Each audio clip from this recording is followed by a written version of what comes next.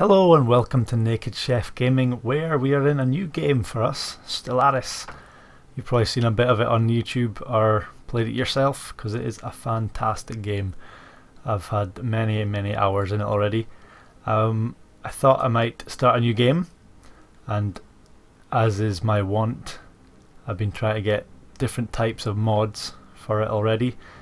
Um, now there's the new patch 1.1 just came out, so a lot of the mods I was playing before are not quite up to date yet. So I've just kind of made up my own um, race here. And as you can see, it is the United Federation of Planets. For those of you who are savvy with Star Trek, you know exactly who that is. Um, likes of Enterprise and uh, all that lot. So this is what I've made up there was got a mod that was like really really good had all the different um, Federation uh, aliens in it but it's not quite up to date yet. So I just made up my human Federation just now. Uh, added obviously continental Earth as our home home world. Little uh, emblem here. So I made us individualist which mean uh, pop modifier energy credits plus 10% slavery minus 50% obviously the Federation do not like slaves. Xenophile Alliance influence cost minus 50%, maximum uh, embassies plus 1, pop modifier, xenophobia plus 10%. So we like the aliens. Bring on aliens. Uh, materialist um, is just sort of like, you know, the, the Federation, they want to get in their research. So we've got physics, society, and engineering output plus 5%. So I've got a little blurb here. I put in after the end of the World War III on Earth, scientist Zefram Cochrane built Earth's first warp capable vessel, the Phoenix. He launched it in April 5th, 2063. The warp testing of his vessel would gamer garner, see think it's like an M, would garner the attention of a Vulcan science ship operating just outside the solar system. Vulcans had not previously considered the solar system uh, of Earth or Earth itself worthy of their attention before this time. However, the science ship lands on Earth and makes first contact with Zefram Cochrane and the inhabitants of Bozeman, Montana. This contact would be the first time that Earth joins the interstellar community and begins the road towards the foundation of the United Federation of Planets. Dun, dun, dun. So we've got nuclear missiles to start off with. I thought about lasers to start with, but um, I think the I'm going with sort of like a, a role play cannon um, version here. So I think nuclear missiles is probably the best place to start with warp travel. And there are skins for different ships uh, mods that, uh, but there again, they're not quite up to date yet. You might notice here the actual interface I've got is uh, a Star Trek interface, which is pretty cool. Uh, so let's see how we get on. Galaxy size, we'll start our medium galaxy elliptical shape, AI, empires, make it 15. Don't advance the ice. Well, we could do, because we're pretty much starting out as uh, new. If you think in Star Trek, there are a couple of um, empires, there's a couple of people who are a bit more advanced, so we'll maybe make it 4, that should be fine.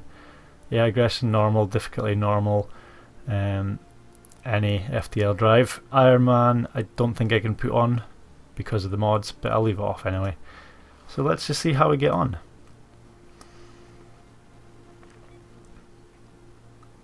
I am by no means an expert on Stellaris, so if you think of anything I could uh, do differently, just let me know. But here we are.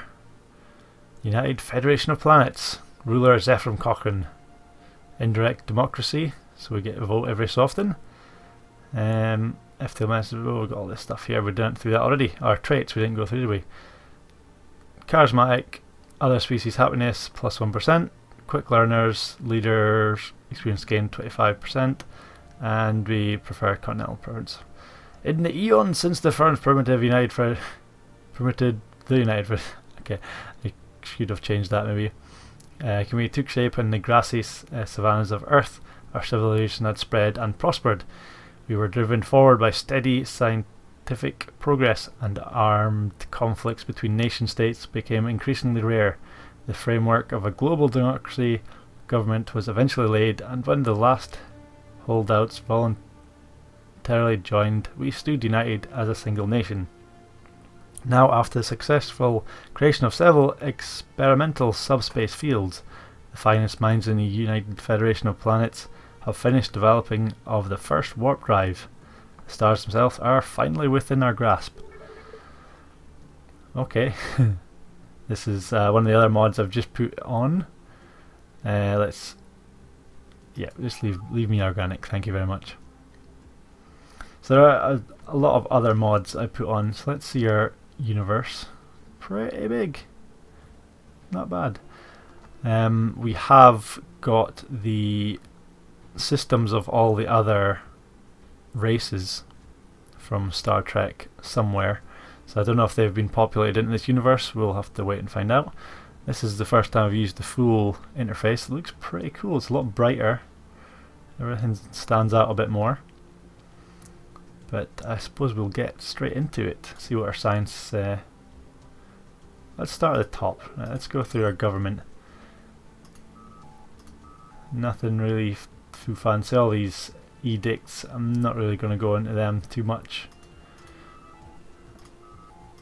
Oh, the sounds as well. Cool, I didn't even notice that. I can hear.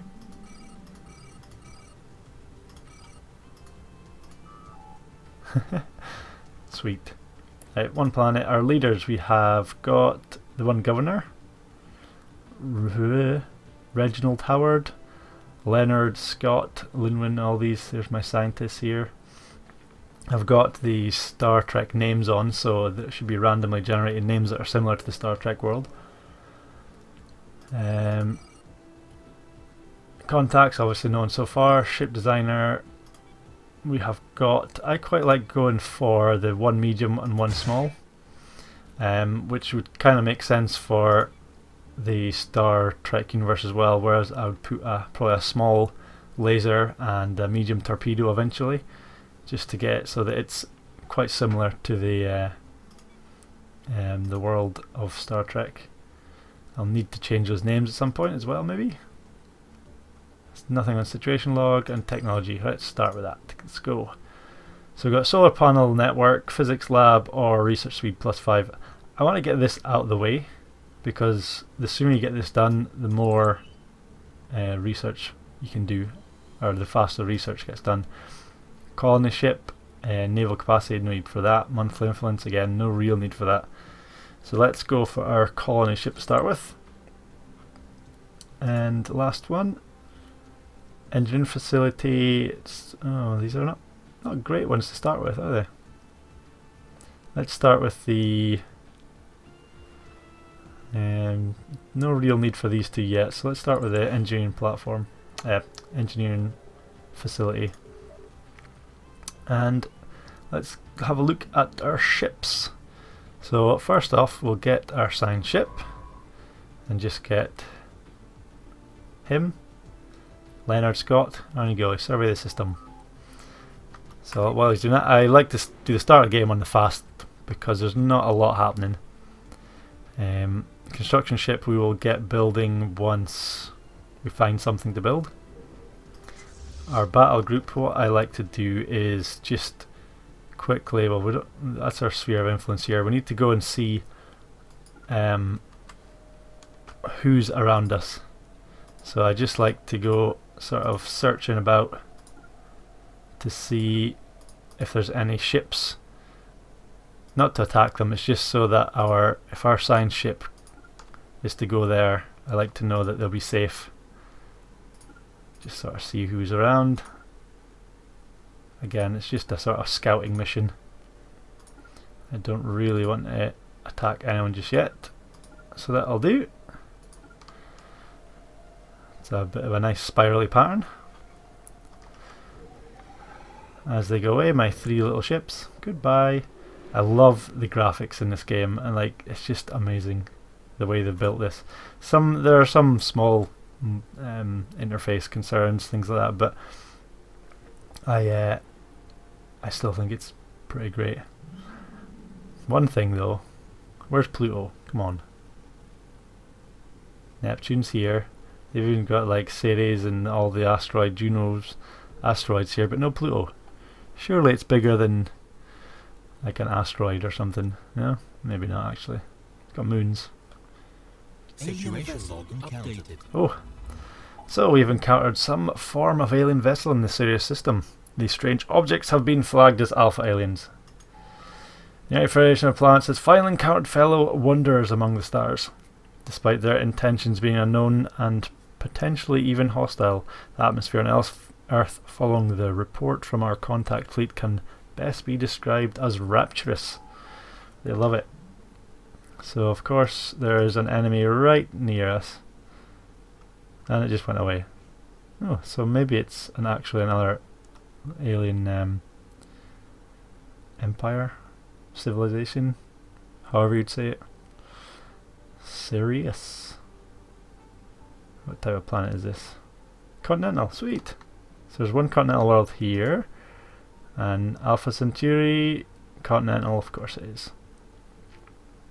The one things we have to do as um, Starfleet is if there are some of these planets might have like a a really uncivilized um, civilization, like uh, nomads and just like people who haven't yet got very good technology. So obviously we have to just watch them. We can't take over their land. Uh, same with wars. I'd like to try and build alliances and federations rather than attacking people. But you know, if they attack me, I'm not going to say no. We are peaceful and we are here for exploration. See what I mean by being a bit slow to start off with. This is actually one of my favourite bits. Like just to start. Because what we need is, like to start off we need the minerals. We have got so we need minerals to actually build things whereas our energy is just to keep things running. Let's have a look how Earth is doing. Habitable World Survey. We now know without a doubt that thriving biosphere is not something unique to Earth. Both the scientific community and the public at large are eager to learn more about the various forms of alien life found throughout the galaxy. Efforts to catalogue the forms of life we encounter are already underway, but our xenobiologists have urged us to focus our planetary survey efforts on habitable, life-bearing worlds. So we can say we have more important things, or we can say a commendable initiative. Yeah, let's do that. Situation log updated. So here we have our situation log. Tells us exactly what we need to do. There's our aliens we met last time. And uh, we need to find eight habitable planets. So what we do, let's have a look at Earth. See Earth here we have our governor, Reginald Howard plus for happiness, minus 10% construction, minus 12% block clearance time. So here we go, this is Earth. So we got a couple of people working on food. How are we doing for food? So food is surplus, which means increase the rate of our population growth. Here we go, so we've got all this food coming in I would like to focus on the uh, minerals to start with. But that's what she's doing and there's no other minerals. That's a bit of an annoyance. I would like to have a bit more minerals. Anyway let's um we don't need more food just now so there's no point in building wasting our minerals building planets. So let's just leave Earth as it is just now Oh, there's more minerals. Fantastic. So, shift. No. Build mining station. So he will build the mining station here first, and then go up here and build that one. As our good scientist Leonard Scott in the Charleston. So we've met the beta aliens. So we got the mining station orbit of 4 Vesta. Sweet. Plus 11, good. It's a good start. It's always good to get uh, minerals quickly. Now who is this? This is the... Ah. So I know because I've played this before, these guys are just harmless. There's no point in really researching them. Hello, little squids. Bye bye. Love that. So we've got a few um, continental worlds just plopping about, which is pretty cool to start off with. Um, so as soon as we get our colony ship built up, we have to research it. It'll take 47 months to research. And then after it's researched, it'll take a while. I need I think about 350 uh, minerals in order to build one, and it takes up a lot of complete. energy to um, upkeep. Sol's been fully surveyed, sweet, and gained a level. Level. Leader experience gain plus plus fifty percent. That's quite cool. Right, where are you? So you, my good man, can now survey. See, now I've scouted all these land uh, worlds with my military. I know now that I can just happily set him away. Survey, survey, survey, survey, survey everything. Have fun.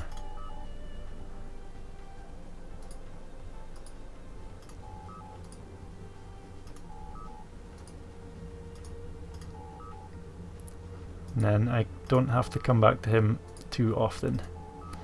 Unless he encounters something. So there you go. Have fun. And I think once I've got my... Oh, there's another. Is that another Continental World? Sweet. If I can, once I've got my... Um, my, uh, whatchamacalls it? Colony ship. I'll jump out to one of these two. Probably this one. If it's habitable, because you have to scan them first. Sometimes there, it says continental world. There might be something wrong with it. You can't actually um, colonize. Or what I could do is just find the biggest planet. So that's 15. Have the habitability question mark 18. 16. They're all quite big planets. It's a really good start. 24. Scrap that. Oh, we've got enemy vessels. The crystalline entities. Oh, and my guy's left.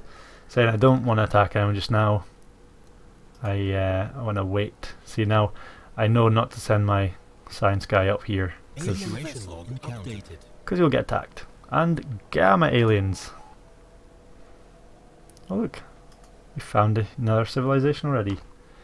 But again, I'm I'm not going to research it. What you can do is go in here. Here's all your aliens, and it costs your society research to um, research it, which means that this will. I don't know if it stops or slows down, or but it definitely takes away from this. Anomaly found. Ooh, an anomaly. Vaguely defined shape swirl in the currents in Barnard Star the Second. Vast oceans. So I can probably be okay to research that. It's only 10% risk. I could get this guy to um, build build on Uranus. Shall we build on Uranus? We are getting quite low on credits. More aliens. Sweet. I think we will. We'll just build that just now. So it's only 90. We've got a decent amount of um, minerals coming in just now. So we'll build that and uh, yeah, we'll see how it goes. But that's been the first, this is the first video of a new uh, series and a new game that I love playing by the way, just to let you know. So if you like seeing this, just tell me in the comments below or hit the like button and uh, we'll continue doing it. So thanks a lot for watching and I'll see you next time. Bye bye.